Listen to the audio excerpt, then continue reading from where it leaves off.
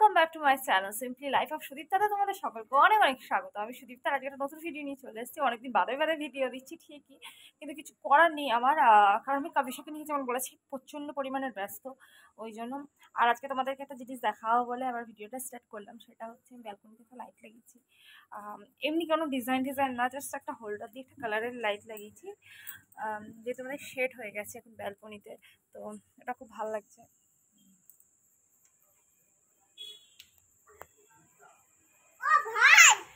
Pink কালারের ওই লাইটটাই লাগিয়েছি। ননদকে বলেছিলাম যে, তোমার ননদেরই ইলেকট্রিকের দোকান। তো দিদিকে বলেছি যে, দিদি যদি মানে আমি দেখব আগে লাগিয়ে যে কীরকম হয় না হয়। যদি দেখি যে ঠিকঠাক আছে, তবেই আমি নেব, নয়তো সাদা রঙের নেব। তা দেখলাম, এটা থ্রি ওয়ার্ডের দেখলাম কোনো অসুবিধা হচ্ছে না। ভালোই লাগছে, খারাপ লাগছে না। তাই জন্য দিদি বলে যে, ঠিক আছে, আমি সেটাও মানে ডেটটা লিখলাম না। তুই লাগিয়ে দেখ আগে, তারপরে।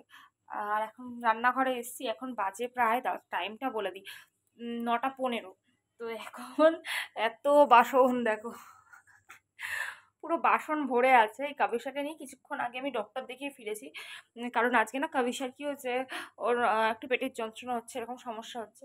ওই জন্য ওকে ড্রয়িং ক্লাসে নিয়ে গেছিলাম। ওখান থেকে ডক্টর মানে ম্যাম ছেড়ে দিয়েছে ওকে। বলছে কি, ওকে নিয়ে বাড়ি যাও আর ওকে একটু ডক্টর দেখাও। তো যাই হোক, সেটার জন্য গেলাম। গিয়ে ডক্টর দেখালাম। হোমিওপ্যাথিক দেখিয়েছি। দেখিয়ে নিয়ে তারপরে আর কি আসলাম। আর হ্যাঁ আজকে ভেবেছিলাম যে রুটি করব। তরকা রয়েছে কালকে তো গেছিলাম মার্কেটে মানে আমাদের এখানে যে মোড়টা আছে, ওখানে গেছিলাম। গিয়ে আটা ঠাটা সব নিয়ে এসেছি। কারণ আটা শেষ হয়ে গেছিল। তো সেটা প্যাকেট ধরাই রয়েছে এখন আমি ঢালিনি হ্যাঁ।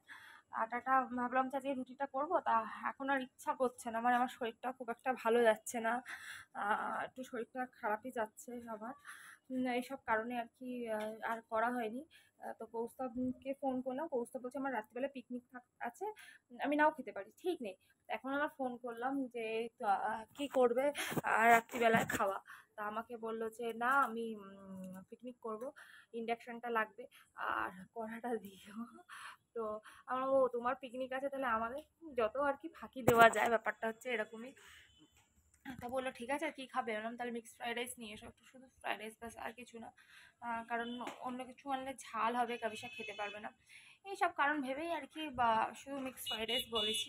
ওটাই নিয়ে আসো ওটা খেয়ে দিয়ে শুয়ে পড়ব। আজকে একদম কিছু ভালো লাগছে না। কাল, কালকে মানে কোনো চাপ নেই কালকে সানডে তো সানডে ওর ম্যাম একদিন পড়ায়নি এই সপ্তাহে, তো সানডে ওকে পড়িয়ে দেবে বলেছে। ওই জন্য কালকে সকালে দিয়ে আসতে বলেছে এগারোটার সময়। তো তারপরে তো আমি কাবিসাকে দেওয়ার পরে মোটামুটি সাড়ে বারোটা পর্যন্ত ফ্রি থাকব, বাড়ি এসে দেখব, কাজকর্মগুলো করতেও পারব। আর কালকে সকালেই বাসন টাসন মাজবো, এখন আর একদম ইচ্ছা করছে না। একদমই ভালো লাগছে না। আর কাবিসাকে পড়তে দিয়েছি কাবিসাকে খেলা করতে বসে গেছে। খেলা করছে। তো যাই হোক, চলো দেখতে থাকো ভিডিওটা, আশা করি ভালো লাগবে।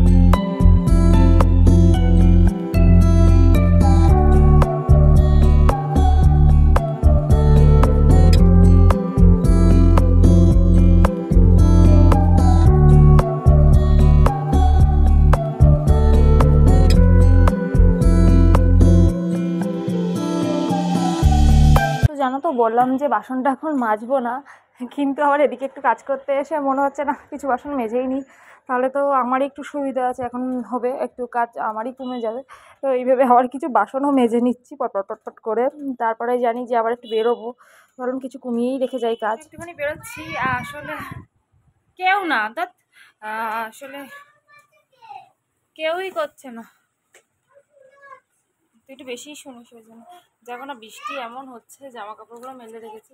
এখন কমেছে ঘরে মেলে রেখেছি এই জন্য সব জানলায় জানলায় দিয়ে রেখে দিয়েছি, যেন ফাঁকাটা চললে জামা কাপড়গুলো অন্তত শুকিয়ে যায়। আর এখন যাচ্ছি হচ্ছে একটুখানি নিচে।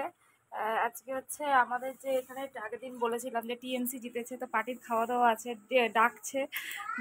প্রথমে ভেবেছিলাম যে যাব না। এখন নিচে তো যাই আগে, তো তারপরে গিয়ে ডিসাইড করব যে যাব কি যাব না, ওই জন্য। আমি এটা সিম্পল একটা কুর্তি পরেছি জাস্ট আর কিছুই না। তো যাব আজকে একটু, আমার আর কৌস্তবে একটু বেরোনোর কথা ছিল, এক জায়গায় যাবার কথা ছিল। কিন্তু যেতে পারিনি। কৌস্তব ফাঁকা হচ্ছে না ওই জন্য তো এখন নিচে যেয়ে দেখি যাওয়া যাবে কি না, আর নয়তো ওখানে চলে যাব। একটু যাব রাতে দশটার দিকে। আর এখন বাজে নটা বারো। আমি এখন নিচে যাচ্ছি তারপরে।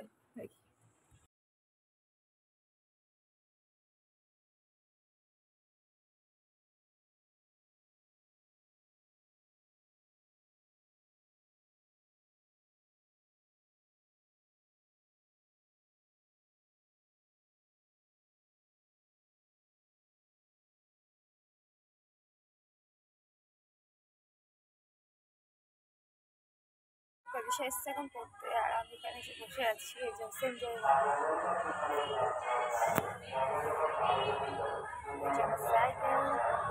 আর আমি বসে আছি এখানে, কারণ বৃষ্টি আসলে ভিজে যাব, ওই জন্য আগে থেকে জায়গাটা নিয়ে নিয়েছি এখন প্রায় দিনই এসে এখানেই বসে পড়ি, কারণ ওইখানটাতে না, এই যে যে স্ল্যাবটা রয়েছে, এখানটাতে আমি বসি।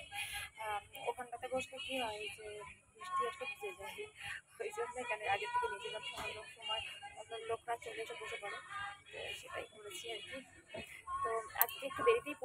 জন্য মানে কাবিসা পড়তেছে ওই জন্য সন্ধ্যা হয়ে গেছে। তো একটু পরে কাবিসাকে নিয়ে একটু চলে যাব। এটা খুব ভালো মানে পরে সপ্তাহ পর্যন্ত হয়তো ম্যাম পড়াবে, তারপরে নিয়ে চলে যাব আর কি এই যা। তো চলো দেখতে থাকো ভিডিওটা, আশা করি ভালো লাগবে আর আজকের ভিডিওটা কালকে আশা করি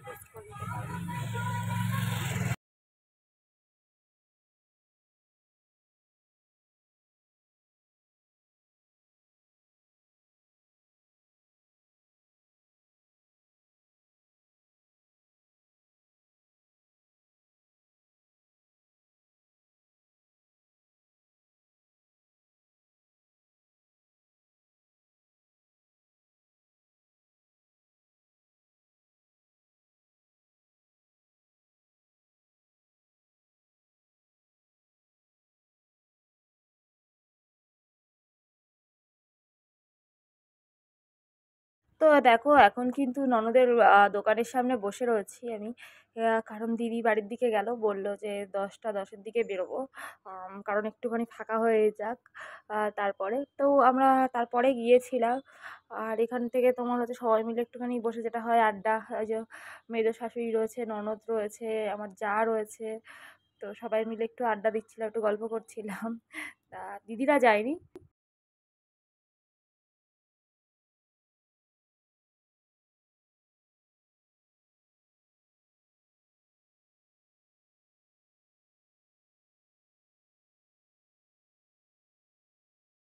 বাজে প্রায় রাত্রি সাড়ে নটা। আর আমি এখন ডিম ভাজছি মানে ডিমের ভুজিয়া করব। পেঁয়াজ দিয়েছি পেঁয়াজ তেলে বসিয়ে দিয়েছি, দেখতে পেলে তোমরা। আর ডিম দিয়ে দেবো, দিয়ে এটাকে ভুজিয়া করব। আর তরকার ডাল আছে আগের দিনে। আর সেটাও বুঝতে হয়ে যাবে। ওটা আর ডিমের ভুজিয়াও দিলে মানে ওরা কি হয়ে যাবে। তো রাত্রে রুটিটা আমি বাড়ি এসেই সঙ্গে সঙ্গে করে নিয়েছিলাম। তখন কাবিসা যেহেতু পড়ে আসে, এসে একটু খেলাধুলো করে, সেই টাইমটা গ্যাসটা কমিয়ে দিই। সেই টাইমটা আমি মানে নষ্ট না করে না আমার না গ্যাসের ছোট ওভেনটাতে বসালে না বন্ধ হয়ে যায় থেকে থেকে। সেটাই আর কি দেখছিলাম। তো ওখান থেকে চলে এসে এটা অন্য একটা সাইড ওখানে এসে বসেছি। কারণ ভাবলাম যে কি মানে ও ওখানে সন্ধ্যা নেমে গিয়েছিল। আর মানে অনেকগুলো লোক ঠক এসে বসেছিল ওই জন্য ঠিক কেমন নিজের একটা কেমন অস্থির হচ্ছিল। ওই জন্য এসে আবার এই পাশটাতে বসেছি। তারপরে আবার গিয়ে কিছুক্ষণ বসে ওখানেই আবার গেছিলাম ঘুরে ঘুরে গিয়ে বসে তারপরে চলে মানে মেয়েকে নিয়ে চলে গেছে। কালকে তাড়াতাড়ি ছুটি করে নিয়েছিলাম আর তারপরে দেখো এটা কিন্তু বাড়িতে এসে বাড়িতে এসে তারপরে রান্না করতে বসেছি আর এর এর আগে কিন্তু আমার রুটি টুটিগুলো হয়ে গেছে কারণ এসে যখন আমি যেটুকুনি টাইম কাবিসা খেলে সময় পেয়েছি, আমি ওই ফাঁকে আগে রুটিটা করে নিয়েছি। আটাটা মাখাই ছিল, বাইরে বার করে রেখে দিয়ে গেছিলাম। তো সেটা আমি তোমাদেরকে পরে বলব। দেখতেই পাবে। আর দেখো, এইটা হচ্ছে, আমি ভেবেছিলাম যে এই মানে তাওয়াটাতে যেহেতু রুটি করা, তো ভাবলাম এটাতেই ডিমটা ভেজে নিই। ভেজে নেব, ভেবে এটাতে বসালামও। কিন্তু তারপরে না মনে হচ্ছে যে না, এটাতে ধরবে না।